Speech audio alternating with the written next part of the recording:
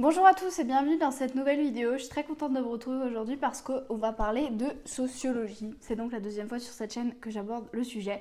Et aujourd'hui, on va le faire avec euh, un exemple et plus particulièrement un travaux que j'ai moi-même réalisé, n'est-ce pas?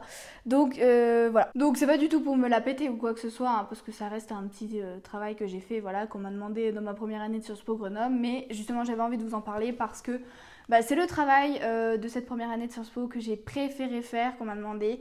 Euh, je me suis vraiment donnée à fond. Euh, en plus, j'ai obtenu une très bonne note. Donc, euh, j'avais envie de vous, vous, partager tout simplement ça. Pour ceux qui seraient tout simplement curieux, pour ceux qui aimeraient, qui aimeraient juste connaître un peu plus l'exercice, qui donc s'intitule l'étude d'observation ethnographique. Et, voilà, pour ceux qui sont intéressés pour la sociologie, ceux qui sont curieux, etc. Et puis, ou sinon ceux qui sont tout simplement intéressés par le thème abordé ici. Donc avant toute chose, petit, petit disclaimer quand même. Euh, donc euh, bah déjà c'est un travail que j'ai réalisé euh, moi-même en peu de temps. C'était pas non plus l'exercice de l'année, c'était juste un petit exercice comme ça, mais moi j'ai vraiment adoré.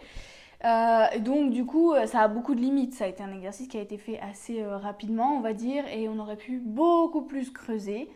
Euh, mais, euh, mais donc voilà, donc forcément, il y a des choses forcément à revoir, etc. Puis vous, comprendrez après avec les spécificités de l'exercice qu'il y a forcément beaucoup de limites. Mais voilà. Et deuxième disclaimer, c'est que euh, ne reprenez pas mon travail et ne vous faites pas passer par moi pour moi. C'est-à-dire que là, je vais partager notamment des graphiques, etc. Euh, ne prenez pas ces graphiques et euh, ne faites pas semblant que c'est vous parce qu'on ne vole pas du travail universitaire, qu'en plus il y a de très bons logiciels maintenant pour euh, reconnaître, etc., du travail qui a été volé. Donc à la rigueur, si vous voulez piquer mon sujet, faites-le, mais réalisez l'observation de vous-même et n'allez pas piquer le résultat des autres, c'est quand même un petit peu dommage. voilà, prendre le résumé d'un livre sur Internet, pourquoi pas, voler le travail universitaire, ça ne se fait pas. Voilà, c'est tout petit disclaimer, euh, autant pour vous que pour moi. Donc, qu'est-ce que l'exercice, euh, l'étude d'observation ethnographique? Donc, les consignes, en tout cas que nous, nous avions. Il fallait euh, choisir un sujet et aller observer sans participer à cette observation. par exemple, ça, pourrait, ça pouvait être aller, voilà, vous allez dans un marché pendant une heure ou deux et puis vous observez ce qui se passe. Et il faut quand même problématiser le sujet. Parce qu'on euh, pourrait se mettre à un passage piéton et juste noter les gens qui passent et c'est tout. Mais il faut quand même essayer d'avoir une petite euh, problématique pour que le, sujet soit un peu croustillant. Donc je sais que certains sont allés, euh, par exemple, au Resto du Cœur. on peut aller vraiment, enfin, on peut aller à plein d'endroits, voilà, à l'entrée d'un magasin, voir quel type de client va ici, etc. Mais après, c'est pas censé être un truc qui va révolutionner non plus la problématique. C'est pas non plus le truc du siècle. Hein. C'est juste bah, par exemple, euh, est-ce que c'est plus les classes aisées qui vont rentrer dans des magasins de luxe, par exemple? Ça peut juste être ça. Voilà. Donc, c'était un exercice qui était censé être assez rapide, faire un petit compte rendu, juste voilà, pour euh, dire d'avoir fait une observation. Moi, j'ai choisi, j'ai eu cette idée, je me suis dit, un truc un peu intéressant et problématisé, surtout en temps de Covid, hein, parce que du coup, il fallait choisir un endroit où il y avait encore du monde, on pouvait observer des choses. Je me suis dit, devant euh, mon supermarché à Grenoble, et eh ben il y a pas mal de mendiants en fait souvent. Et je me suis dit, ça serait sympa, entre guillemets, ce serait intéressant euh, d'aller regarder et d'observer les interactions que les clients ont avec les mendiants. C'est-à-dire, euh, eh bien voilà, quel type de personne euh, va parler, quel type de personne va donner et quel type de personne va ignorer, en gros. Voilà. Donc c'est pour ça que le titre de mon compte rendu, s'intitule L'étude d'interaction entre les mendiants et les clients devant les supermarchés. Donc dans cette étude, on ne s'intéresse pas en soi aux mendiants, enfin, c'est-à-dire que je ne vais pas observer le comportement du mendiant, mais bien le comportement euh, des gens en face de lui. Première limite, c'est que bien évidemment, le comportement et le profil du mendiant influencent beaucoup le comportement euh, des, des, consommateurs. On est d'accord. Mais c'est pas ce que j'ai étudié moi. Donc gardez bien ça en tête parce que c'est sûr que ça change un peu les choses. Donc une fois qu'on a l'idée de sujet, on a un peu la problématique et tout, on se dit ok super, euh, maintenant il va falloir, euh, pour aller observer, on va pas juste observer comme ça, euh, on va noter quoi? Il faut bien déterminer quelque chose. Donc c'est pour ça que j'ai déterminé des critères. J'ai déterminé, j'ai voulu avoir trois catégories. J'ai pris l'âge, donc c'est-à-dire que j'ai fait une catégorie un peu pour les jeunes, 15-25 ans, les adultes et les personnes âgées. Voilà, parce que je me suis dit, potentiellement, l'âge influence le comportement face aux mendiants. Le deuxième critère, euh, c'est le sexe. Parce que pareil, je me suis dit peut-être que euh, les femmes agissent plus comme ça et les hommes plus comme si. On ne sait pas, il faut, faut essayer. Et la troisième catégorie, c'est la classe sociale. Alors là, je fais aussi un petit disclaimer parce que quand j'ai parlé de cette étude à beaucoup de gens qui n'ont jamais fait de la sociologie, ils étaient assez choqués d'entendre ça parce que en fait ils me disaient mais euh, comment tu peux juger comme ça euh, les gens euh, et, écrire la classe sociale? Enfin, ça se fait pas, mais c'est pas possible, mais c'est trop. Non, non, non. Alors, je comprends que ça puisse choquer en soi. Après, je rappelle qu'on est dans une démarche sociologique et d'observation. C'est-à-dire que j'ai choisi deux classes, la classe populaire et la classe les autres, classe moyenne, sup. Voilà, parce que je considère qu'on peut pas trop faire la différence à l'œil entre moyenne et sup. Enfin voilà. Et donc, bah, le parti, de toute façon, c'est d'observer. Donc, il y aura forcément des erreurs parce qu'on ne va pas aller demander aux gens leur revenu fiscal. Mais, euh, en fait, euh, j'observe. Euh, et, comment dire? Bah, je sais pas, je, note, je note quand je vois qu'il y a des habits un peu plus. Enfin, je sais pas moi, de style populaire. Et quand je vois quelqu'un en costard, bah, je le mettrai en classe sup. Mais peut-être que c'est faux. Peut-être, peut-être. Mais sauf que. Enfin, malheureusement. Dans la plupart des cas, c'est quand même vrai.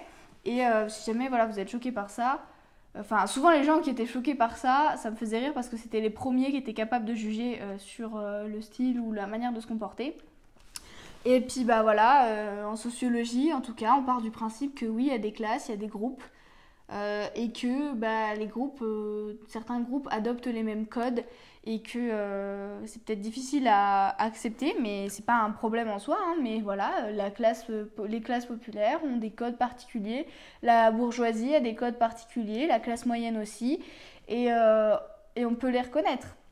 Et d'ailleurs, par rapport à ça, euh, j'ai été accompagnée à un moment d'un ami qui en plus a une licence de sociologie, donc qui s'y connaît dans le domaine, parce que justement, je voulais un peu vérifier et être sûre que je faisais pas n'importe quoi, que mon ressenti était juste. Et en fait, on a tout le temps été d'accord sur populaire ou, pas. On a eu une ou deux, un ou deux débats. Mais en général, quand tu as un débat, tu dis bon bah tant pis. Mais euh, sinon, ouais, il était tout le temps d'accord avec moi. Donc euh, c'est de l'intuition un peu, mais euh, c'est le jeu. Voilà, c'est le jeu. Donc c'est un, un, disclaimer assez long, mais je trouve c'est important d'expliquer ça. Donc du coup, j'ai mes trois petites catégories, l'âge, le sexe et le milieu. Et je vais pouvoir classer les gens et comme ça, en fonction des comportements, repérer plein de choses. Vous allez comprendre par la suite. Donc maintenant, j'ai de quoi classer les personnes. Mais après, il faut classer les comportements. Euh, donc moi, j'ai choisi euh, cinq comportements. Premier, c'est l'ignorance. L'individu passe devant le mendiant, aucun signe de reconnaissance, pas de bonjour, peut-être un regard, mais c'est compliqué de voir un regard, donc voilà. Deuxième, la politesse. Le mendiant euh, salue le, non le, le, client pardon salue le mendiant et en plus, bien souvent, c'est quand le mendiant lui dit bonjour, bon, l'autre, il répond juste par politesse. Mais il y en a qui ignorent, donc j'ai mis politesse. Ensuite, on a la discussion. L'individu, il engage une discussion avec, euh, avec le mendiant. Après, on a le don. Mais on a deux types de dons. C'est-à-dire que j'ai voulu différencier le don d'argent, donc on donne des petites pièces, voilà, et l'achat. Parce que vous savez, il y a des gens qui arrivent, qui disent, euh, soit qui demandent au mendiant ce qu'il aimerait, ou alors qui ressortent et qui lui ont acheté euh, du pain ou du fromage, peu importe. Donc euh, ça, c'est un parti pris que j'ai fait avant d'aller observer. Je me suis dit que pour moi, il y aurait une différence entre le don d'argent et l'achat. Parce que mon hypothèse, c'est que l'achat, ça a un côté plus paternaliste parce que euh, la personne souhaite plutôt acheter quelque chose et elle se dit ah bah ça sera utile pour lui, ça sera de la nourriture et il va pas la dépenser euh, dans des clopes ou dans de la bière. Euh, donc c'est un côté plus paternaliste et je me suis dit à mon avis les classes supérieures ont plus tendance à faire de l'achat que les classes les classes populaires voilà. Et vous verrez à la fin que potentiellement c'était bien vrai. Et donc voilà, j'ai choisi de différencier ces petites catégories. Donc après, euh, concrètement, euh, tu vas, euh, bon, je vais pas vous voilà, mais j'avais une feuille et j'écrivais mes petites lettres. Donc en tout, 250 personnes en l'espace de deux heures, deux observations à chaque fois, enfin deux observations d'une heure. Donc je vais vous mettre ici les graphiques de la composition de ma population, très important avant de faire des analyses de quoi que ce soit. Donc ma, ma population, euh, se constituait principalement euh, d'un milieu que j'ai jugé populaire, 62%. Ensuite, on avait euh, presque une égalité homme-femme, donc 53% de femmes. L'âge de la population, là par contre, c'est assez important parce qu'on a une grande majorité de jeunes avec 56%, 37% de personnes adultes. Et par contre, on a 7% euh, de personnes âgées, donc vraiment très peu euh, sur 250 euh, personnes. Et enfin, la répartition du nombre d'actions, qui est quand même intéressant, c'est qu'il il y a donc 61 bah, personnes qui ont ignoré le mendiant, donc on peut se dire, ah, c'est beaucoup et tout. Mais ça veut dire que tout le reste, donc quand même 40%, ont eu une interaction avec lui. Ce qui, en soi, est plutôt, euh, je trouve, euh, intéressant, quoi. Donc euh, on voit quand même qu'il y a 15% qui disent bonjour, il y a 14% qui discutent. Donc ça fait quand même 30% de l'échantillon qui ont une, interaction verbale, vraiment, avec le mendiant. Et ensuite, on a 6% d'achats et 4% de dons d'argent. Donc ça fait quand même sur l'échantillon au total 10% qui ont acheté ou donné, ce qui est euh, aussi, je trouve, euh, plutôt pas mal. Et ensuite, répartition de la population, mais je vous le remontrerai plus tard parce que ça nous sera utile. Donc, on a la combinaison du facteur sexe et milieu social sur la population observée, c'est-à-dire, bah voilà. Donc, par exemple, on a 23% de femmes qui étaient issues de classes supérieures, on avait 30% de femmes issues de classes populaires, etc. etc. Donc, vous voyez à peu près euh, l'échantillon. Donc voilà, vous m'excuserez parce que je suis en train un peu de lire du coup les résultats sur mon ordinateur, ça fait un petit moment que je ne l'ai pas fait. Donc d'abord, j'ai fait les résultats par catégorie. Qu'est-ce que je constate pour l'achat, pour le don d'argent, etc. Donc euh, pour l'achat, euh, on voit que les femmes, euh, c'est celles qui donnent le plus parce qu'elles sont 63% à donner, alors qu'elles représentent que 53% de la population. Mais l'âge et le milieu ne sont pas influencés l'achat. Donc euh, quand je dis 63% à donner alors qu'elles sont 53% de la population, c'est que parce que bien sûr il faut se référer à ma population de base pour savoir si euh, le pourcentage apparaît plus grand ou pas, même si bien sûr mon échantillon, enfin je veux dire mon échantillon à moi ne représente pas la population française, on est bien d'accord. C'est pour ça qu'il faut se référer donc à mon échantillon. Donc on peut considérer que 63% euh, comparé aux 53% de l'échantillon, bah, c'est quand même que potentiellement les femmes de manière générale donneraient plus. C'est peut-être faux. Mais en tout cas, voilà, dans mon étude, c'est ça. J'espère que, c'est bien clair. Donc voilà, donc pour l'achat, euh, voilà, ceux qui vont acheter, euh, ça serait plus les femmes. Mais euh, voilà, l'âge et le milieu social, ça influencerait pas trop. Ok. Le don d'argent. Donc là, pareil, les femmes, elles donnent plus parce qu'elles sont 66% pour 53% dans la population. Et le milieu populaire donne à 86% alors qu'ils sont 62% dans la population. Donc là, ça veut dire que concrètement, euh, on constate que euh, ce sont beaucoup plus ces classes populaires qui donnent euh, bah, des BPS, voilà, de, l'argent comme ça, que les classes supérieures. Et là, c'est assez significatif. Et là, encore une fois, on ne constate rien par rapport à l'âge, ni par rapport au milieu social. Pour la discussion, on constate pas de différence pour les sexes et pour l'âge. C'est-à-dire que les pourcentages sont plutôt équivalents au pourcentage de la population. En revanche, euh, les classes populaires sont très représentées dans cette catégorie euh, de la discussion, parce qu'elles sont 75% euh, contre 62% dans l'échantillon. Donc ça peut s'expliquer par rapport à une certaine homogamie, mais bon voilà. Parce que les, voilà, les personnes de classe populaire se sentiraient peut-être moins éloignées des personnes mendiantes que les personnes, les personnes d'autres classes sociales. Donc pour la politesse, euh, les adultes, euh, ils semblent un peu plus polis euh, que les jeunes, parce qu'ils sont 50% à avoir salué les mendiants, contre 37% dans l'échantillon. et les jeunes, 37%, alors qu'ils sont 57% dans l'échantillon. Donc en fait, les pourcentages sont quasiment inversés. Et donc, ça, c'était assez étonnant quand j'ai vu les résultats, parce que moi, justement, je me disais, ah tiens, les jeunes, je pense qu'ils vont avoir plus tendance à être polis, en fait, tout simplement, à dire bonjour. Mais en fait, je pense qu'il y a une dynamique euh, autre qui est euh, celle du groupe, parce qu'en fait, très souvent, euh, les jeunes étaient en paquet de 3, 4, 5.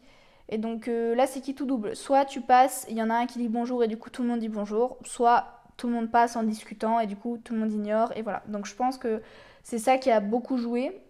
Et donc c'est sûr que mon étude prend pas en compte voilà les gens, il prend en compte les gens séparément alors que bien souvent, forcément, la dynamique du groupe peut avoir un impact. Donc ça, c'est sûr que c'est une, des limites. Mais donc, euh, pour euh, ce qui est de l'ignorance, la catégorie en fait est partagée par tous. C'est-à-dire qu'il n'y a pas de différence, il n'y a pas euh, plus de femmes, plus de jeunes, plus de machins qui, ignorent. En tout cas, avec juste les catégories comme ça, il n'y a pas de... Voilà, tout le monde ignore à peu près de manière égale. C'est bizarre dit comme ça, mais voilà. Et ensuite, les amis, je me suis donné à quelque chose parce que je me suis dit, hmm, voilà, vous vous rappelez de la fameuse comparaison des facteurs sexe et milieu? J'ai combiné les deux. C'est-à-dire que maintenant, ma population de base, c'est plus simplement juste les jeunes, juste les femmes, juste les milieux populaires. Maintenant, je combine le sexe et le milieu.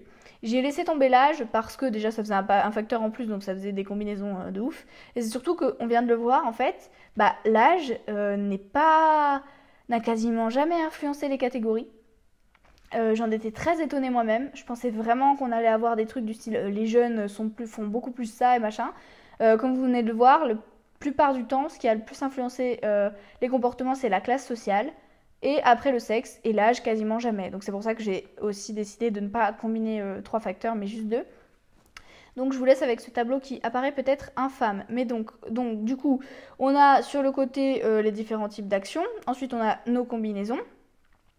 Et ensuite, on a euh, en face de chaque euh, action euh, le pourcentage de cette partie du coup, de cette combinaison.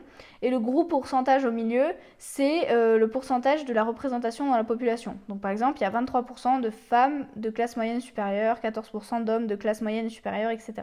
Donc c'est pour pouvoir encore une fois comparer. Donc du coup, les pourcentages qui vont être en rouge, c'est les pourcentages où je vais constater une baisse significative par rapport à l'échantillon, c'est-à-dire plus de 10%. Ça, c'est moi qui l'ai déterminé. Et en vert, c'est la hausse aussi significative. Donc après, j'analyse eh ben, ces chiffres qui ont une augmentée significative et j'en tire des conclusions. Première chose qu'on note, c'est que euh, les hommes de classe populaire ne semblent pas avoir de particularité euh, par rapport à l'échantillon, parce que comme on peut le voir, en fait, leur pourcentage euh, n'a pas de variation particulière, donc ils sont plutôt... je sais pas comment on peut du coup dire ça, mais ils sont plutôt proportionnels, enfin je sais pas comment expliquer, mais il n'y a pas de, de particularité. Par contre, les femmes de classe populaire, euh, elles euh, ont beaucoup plus de, particularités. Donc elles sont 53% dans le don d'argent, alors qu'elles ne représentent que 30% dans l'échantillon. Donc on, voit vraiment qu'il y a une surreprésentation des femmes de classe populaire dans le don. Donc ça, on peut l'expliquer par le fait que euh, bah, les femmes ont une socialisation qui est différente de celle des hommes et qui du coup elles sont plus poussées à la gentillesse, entre guillemets, enfin voilà, à, soigner, elles sont plus invitées au care en général. Et donc, euh, du coup, ça peut s'expliquer pour ça. Et elles sont aussi bah, beaucoup moins présentes dans l'ignorance parce que de manière générale, elles discutent ou saluent plus les mendiants euh, que les autres catégories.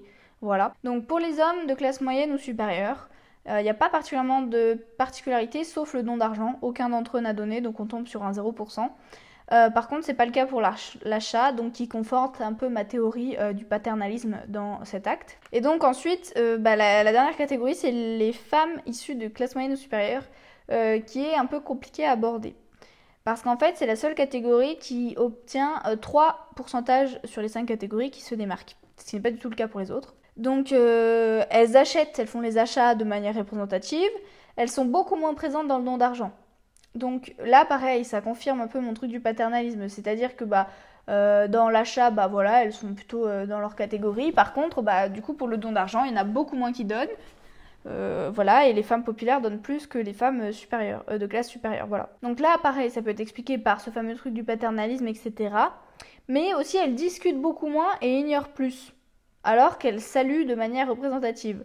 Donc là, on peut se dire, bah, c'est un peu compliqué et tout, mais euh, moi, la conclusion que j'en ai tirée, c'est de me dire que les femmes sont incitées au care et que, euh, en même temps, les femmes de classe euh, supérieure, pas qu'elles, mais dans ce cas, sont assez craintives dans l'espace public et elles redoutent aussi potentiellement les interactions avec des hommes de plus parce que mes mendiants, c'était des hommes.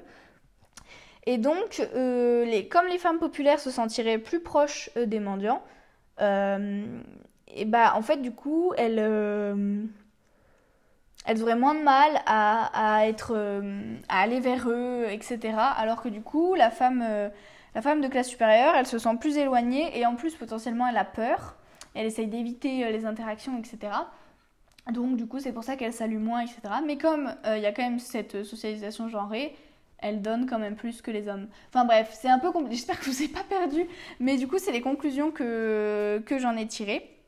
Donc voilà, j'espère euh, vraiment, il ne faut pas du tout prendre mal quand je dis euh, les femmes populaires, euh, les, de classe populaire ne sont plus proches des mendiants et tout. C'est pas, c'est pas, enfin, je veux dire, il faut vraiment y voir aucune attaque là-dedans. Hein. C'est juste que bah, sur l'échelle, ils sont juste plus proches et donc potentiellement des gens de classe populaire connaissent connaissent potentiellement plus de personnes mendiantes que bah, des, des, gens de la bourgeoisie, quoi. C'est juste, voilà, parce qu'ils sont plus familiers aux problèmes. Enfin, il y a souvent, voilà, cette cet adage qui dit que bah, c'est les, les hommes, euh, enfin ceux qui ont le moins de choses qui sont le plus généreux. Et, là, quelque part, on le, on le, confirme un petit peu parce qu'ils sont sensibles à ces problématiques et que euh, bah, du coup, ils n'ont pas peur de donner euh, quelques pièces alors qu'eux-mêmes font attention quand ils font leurs courses. Quoi. Bref. Donc, du coup, le facteur, enfin la combinaison de facteurs qui incite le plus aux interactions, c'est-à-dire que finalement, le type de personne le plus sensible et le plus apte à avoir des interactions de tout genre avec des mendiants, ce sont les femmes de classe populaire. Voilà. Alors c'est un peu compliqué à expliquer, mais la conclusion que j'en tire, c'est que, vous voyez, pour la, quand on a la combinaison de facteurs, hommes de classe sup, hommes de classe populaire, bon, les pourcentages, ça bouge pas trop, quoi. C'est plutôt... Euh, donc on a limite l'impression qu'il n'y a pas trop de différence entre un homme de classe populaire et un homme de classe supérieure. Un peu, mais pas significativement. Par contre, quand on passe sur les femmes, on observe vraiment des choses assez étranges des fois. Comme je vous ai dit, voilà, les femmes donnent plus, par contre, elles parlent moins. Les femmes de, les femmes de classe sup. Par contre, les classes populaires, vraiment, elles, euh, donnent beaucoup plus, elles ont beaucoup plus d'interactions.